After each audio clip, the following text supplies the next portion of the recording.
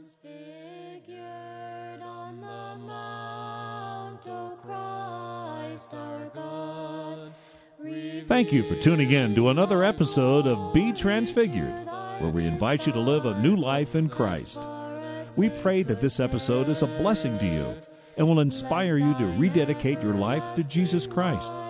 We invite you to join us for worship or study at the St. Nicholas Greek Orthodox Cathedral in Tarpon Springs, Florida, where visitors are always welcome.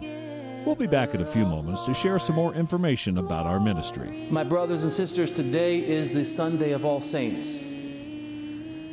So many saints in the life of the church that the church doesn't even know all of their names.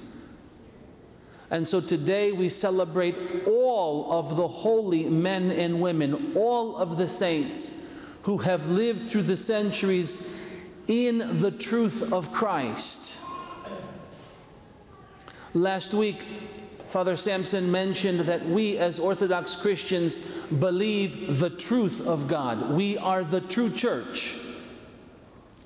And we spoke about the Pistevo and the Paterimon, the Creed and the Our Father, and we have been discussing these past few weeks that we as Orthodox Christians believe the truth about God. And so, after last week's sermon, we received a follow up question Do you need to be Orthodox to be saved? And the answer, my brothers and sisters, from my vantage point, is yes.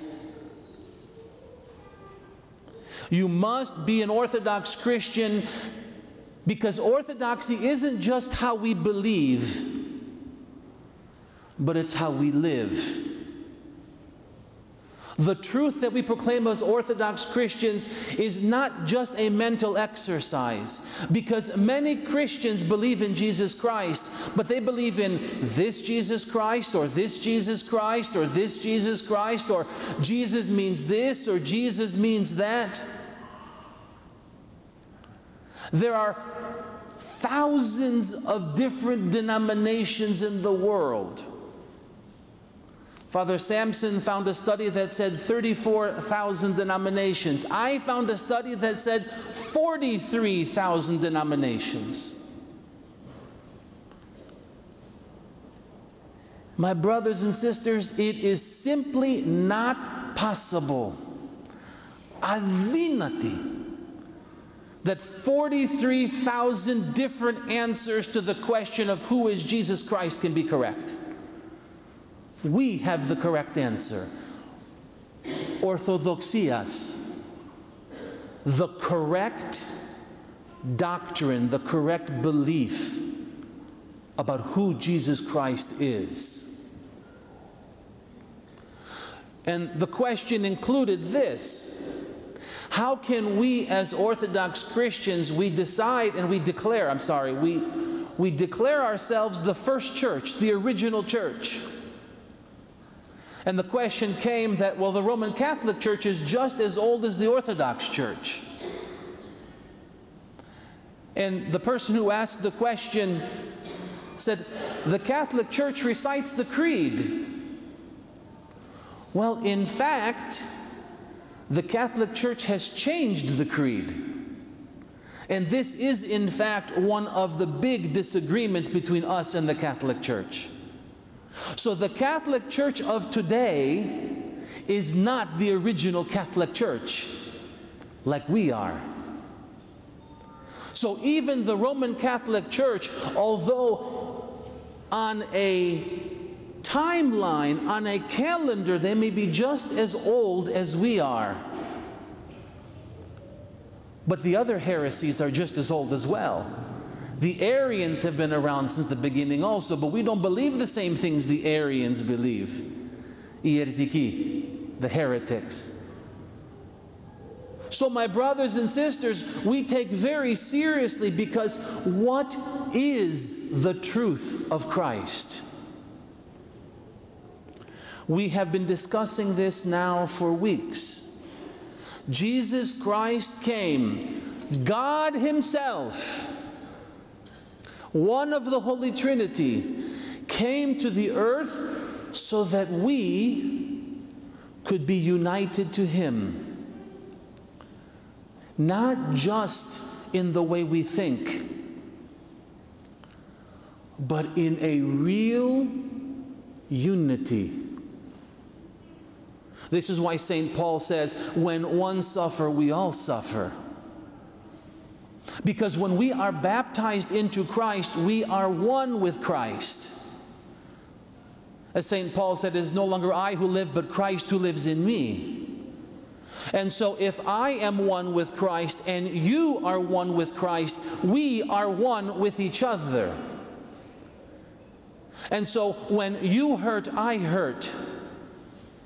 When you are honored, I am honored. But it gets even better than that.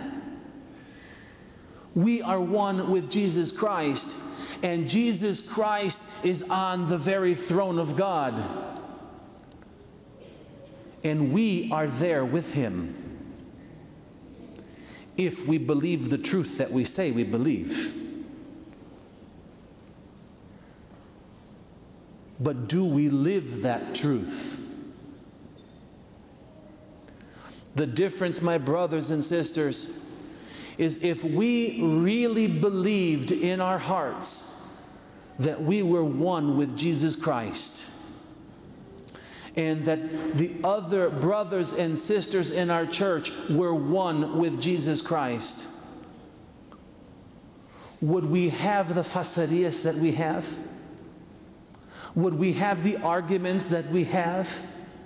if we really looked at each other as being one. And this is our difficulty, this is our struggle. Our Lord and Savior prayed before he ascended the cross that he says that they may be one as we are one the Father, Son, the Holy Spirit, one God in total harmony and total unity. Do we live that way? Or do we spend our time focusing on ourselves? It's the human condition. It's what we all struggle with.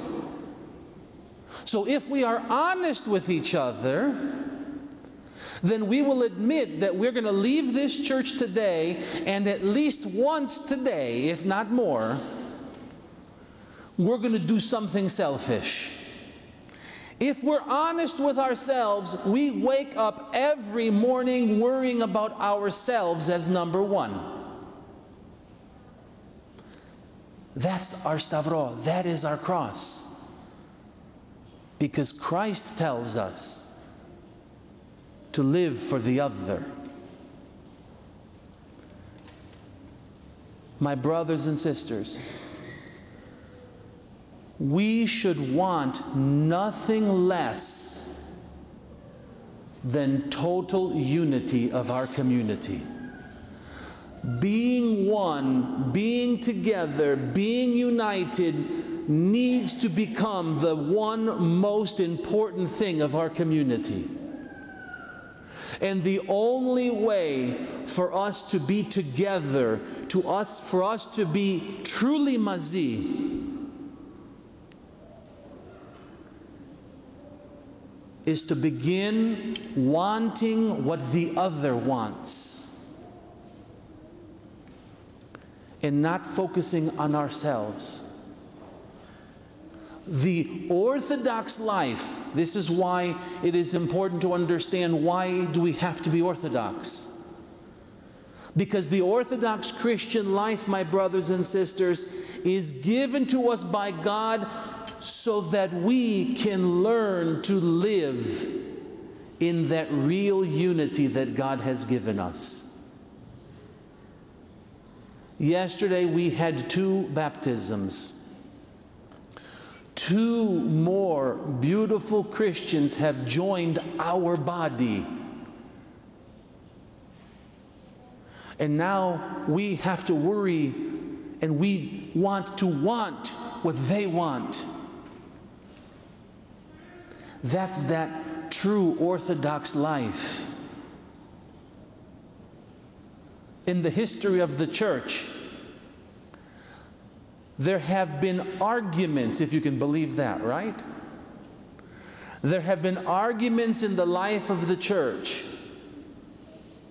And there have been times where the church said, it is more important for us to be together in unity, and what we say in Orthodoxy, in communion. It is more important for us to be together than to be right.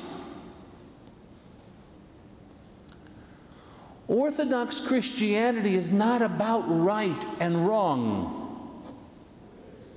I'm going to say that again because it doesn't sound, it sounds strange. Orthodox Christianity is not about being right or wrong. It is about being healthy. And it is about being healed by God. If we spend our entire world focusing on right and wrong, black and white, we're going to miss the love of God. Because the truth is, we're all wrong. Udhisin amartitos. We are all wrong. But in orthodoxy, we are being healed by God. Every day, if we open our hearts. And so today we honor those holy men and women, all of the saints, who have given us this wonderful example of life if we live as the saints lived, if we believe as the saints believed, if we love as the saints loved, we will find ourselves in heaven.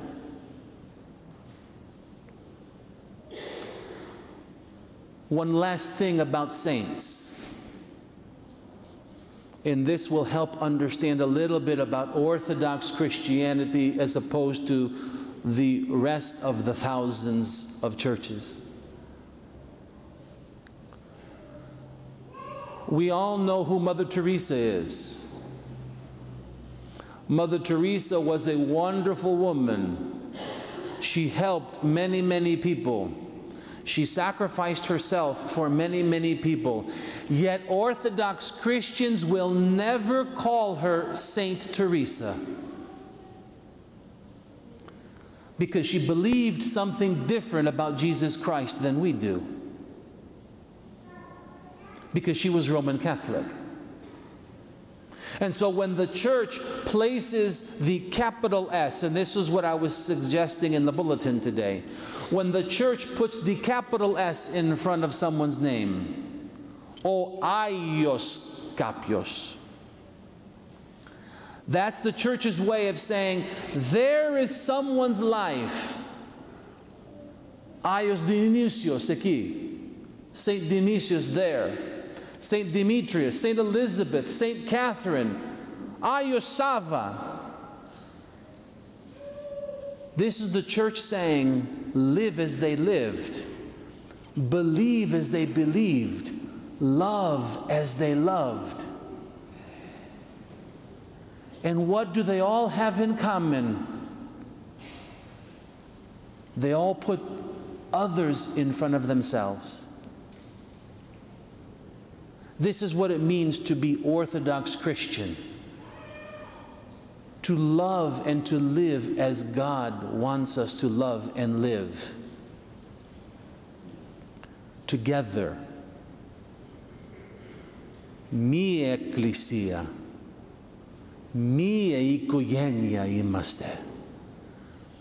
We are one church, we are one family. And I pray for the day that being together is the most important thing in our lives. So we can truly help each other get to heaven and to be face to face with God. Despres vias don aion pandon through the intercessions of all the saints. May God bless us and protect us. Glory to God for all things. as far as they could bear it. Be Transfigured is a production of Be Transfigured Ministries in cooperation with the St. Nicholas Greek Orthodox Cathedral in Tarpon Springs, Florida. We depend upon your generosity to maintain our ministry. You can make a safe online donation when you visit our website, liveanewlifeinchrist.org.